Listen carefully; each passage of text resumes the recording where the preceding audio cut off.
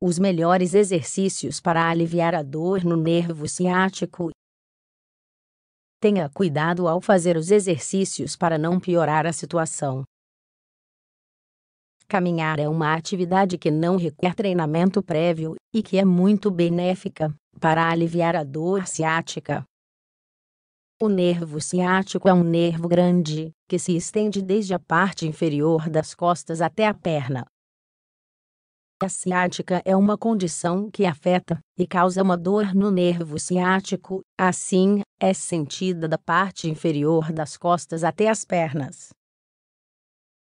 Dessa forma, este problema ocorre quando o nervo ciático é comprimido ou se irrita por uma compressão dos discos. Por si só, a dor no nervo ciático não é considerada uma doença, mas é um sintoma claro de problemas como hérnia de disco ou estenose espinhal. A dor no nervo ciático é muito incômoda e pode impedir que a pessoa de realizar suas atividades cotidianas por um tempo que pode durar até oito semanas. No entanto, se durante este período tivermos em mente alguns cuidados e exercícios, ela pode diminuir e até desaparecer por completo em menos tempo. Exercícios que podem ser feitos em casa para aliviar a dor no nervo ciático Ainda que os pacientes possam descansar um dia ou dois, a melhor forma de combater a dor é com uma boa rotina de exercícios e movimentos que trabalhem a área afetada para, assim, melhorar o problema dia após dia.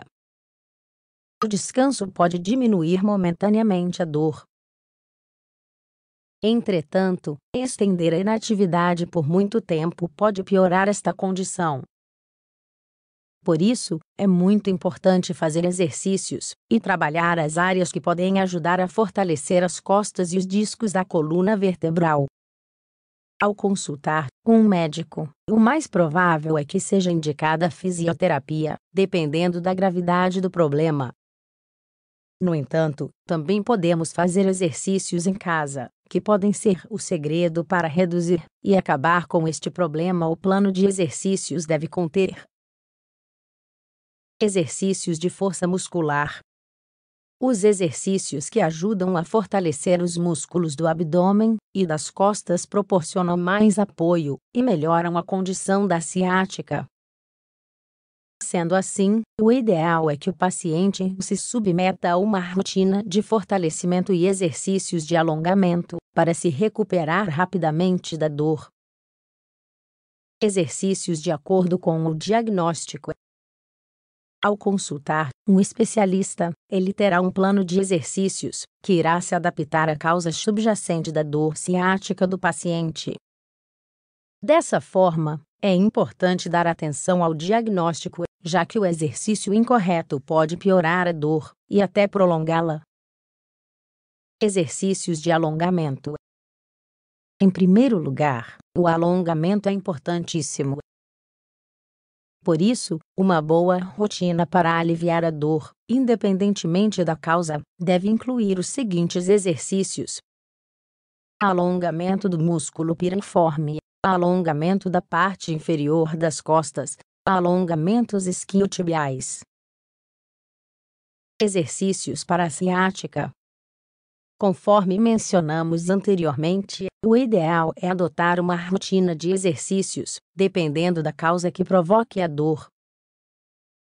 Sendo assim, os exercícios recomendados são os seguintes: ciática derivada da hérnia de disco, exercícios de extensão, exercícios de flexão das costas, exercícios de extensão superior das costas, flexões abdominais, destinadas ao fortalecimento dos músculos do abdômen, ciática derivada de estenose espinhal, exercícios de flexão dorsal, supino, flexões abdominais,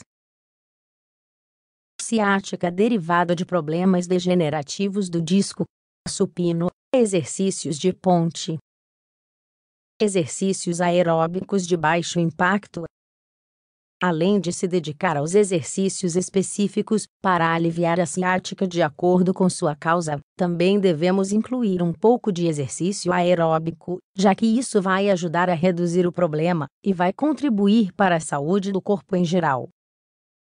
Um dos melhores exercícios para as costas é caminhar, Praticar este exercício durante cerca de 30 minutos pode ter como resultado os benefícios de uma sessão de exercícios aeróbicos convencional.